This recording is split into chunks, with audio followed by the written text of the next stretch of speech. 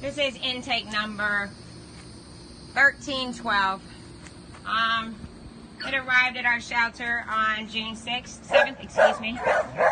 The sweet baby, um, you can just tell it's overwhelmed. Hey, hey, hi baby.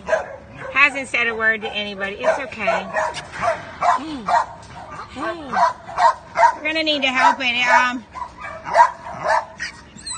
just seems very sad. Not responsive to anything. We haven't had intake on it yet. I don't think it's been a problem. I just don't think they've gotten to her yet, him or her. I don't have that information. Again, this is intake number 1312.